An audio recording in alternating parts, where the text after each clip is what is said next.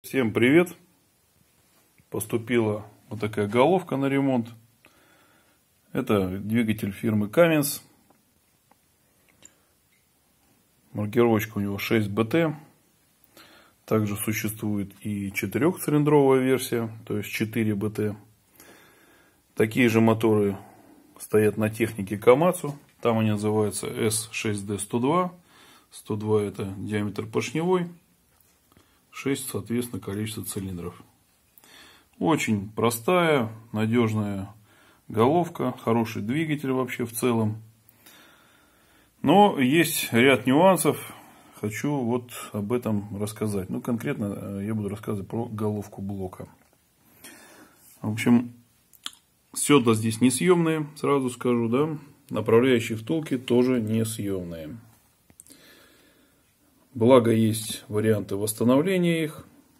Седла можно вырезать, установить, ну, изготовить ремонтное седло под размер. Можно что-то подобрать, под, нее уже, под него уже расточить тоже и установить это седло. Ну, не проблема. Мы конкретно растачиваем вот эти отверстия и ставим туда наше э, самодельное седло, так скажем. Но все по технологии. Значит, также здесь изнашиваются втулки направляющие, они тоже несъемные. Вот. Но у нас есть э, пример восстановления и метод восстановления, то есть есть э, вполне уже э, отработанная схема реставрации вот этих вот несъемных направляющих. Становится вот такая бронзовая втулочка, она развальцовывается. Вот. В одном из видео я там тоже показывал вот этот набор. Но это вот уже готовая работа. Шарами это все калибруется. В общем, тема отработана, вопросов нет. Значит, какая предыстория этой головы, конкретно этой? В общем, клиент приобрел или забрал, не знаю. Ну, в общем, короче, в металлоломе нашел этот двигатель, дернул с него голову. У него аналогичный мотор стоит. И дабы не терять время на ремонт, решил вот эту донорскую голову отремонтировать, а когда свою снимет, уже поставить туда готовую головку блока. Но есть нюансы, да, как бы мы знали про это дело, но, эм, к сожалению, эта проблема вырезает после того, как уже все, ну, большая часть операции сделана.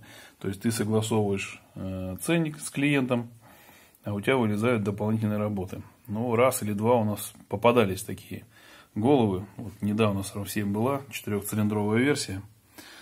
Значит, там тоже менялось. То есть, ну, естественно, все, голова разбирается, рассухаривается, моется, удаляются все заломы. Тут, как правило, коллектор приварен к голове буквально, потому что ржавеет вообще насмерть.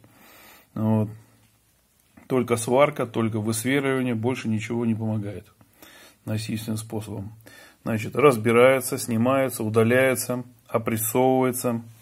Вот. Если все целое, смотрим состояние клапанов направляющих, как правило, направляющие под реставрацию, клапана под замену.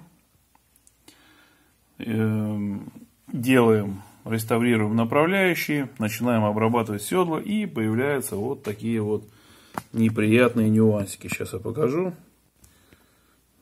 Я просто хочу, чтобы кто будет сталкиваться с ремонтом этих дизелей, ну вот видно, да, вот рабочая кромка седла, вот видите, идет полосочка, вот это вот трещина. Это трещина, которая возникает на несъемном седле.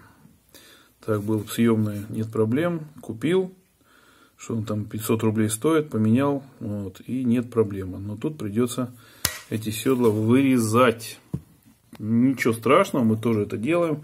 Просто это удорожание очень сильное вот этой работы. Да? Вот видите, тоже седло. повторюсь, начинает вот это все проявляться после того, как седло уже обработанное. Видите, как, как хорошо вот видно. Сейчас очень хорошо трещину видно. Вот я подсвечу, видно, да, трещинку. Такая вот такой вот нюанс. Поэтому, кто будет ремонтировать, да, тут во всех седлах есть, ну, именно по выпуску. По выпуску во всех седлах есть трещины. Поэтому, кто будет сталкиваться с ремонтом вот этих головок, клиента предупреждайте, что могут проявиться трещины на седлах. Соответственно, это, конечно, свой нюанс. Видите, тут еще такая стеночка неприятная. То есть она идет прямо под седло. И держаться тут седлу будет непросто. Ну, благо это выпуск, как бы, да, выпуск, в принципе, ремонтируем. Вот, а по впуску вот тут будут нюансы, да, потому что тут опоры, ну, можно сказать, вообще нету. Почему они делаются несъемные. Но мы россияне, мы не привыкли, что деталь выбрасывается, поэтому жить будет до последнего. Видите, какие впускные седла красивые. Караед все пожрал. Но, в принципе, да, даже с такими вот клапана провалится, конечно, ну что делать. Я думаю, что родная клиентская голова, я как бы знаю ее, она будет ничуть не лучше.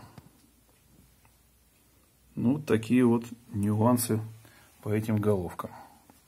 Ну, с возрастом это неизбежно, рано или поздно, на любом дизеле. У кого будут межклапанные трещины, у кого на седлах трещины, но это, это неизбежно, к сожалению. В процессе эксплуатации появляются они, и от этого никуда не денешься. Ну все, не забывайте, ребят, подписываться на наш канал, оценивайте видео. И не забывайте учитывать вот этот момент при ремонте головок. Все, ребята, всем спасибо, всем пока.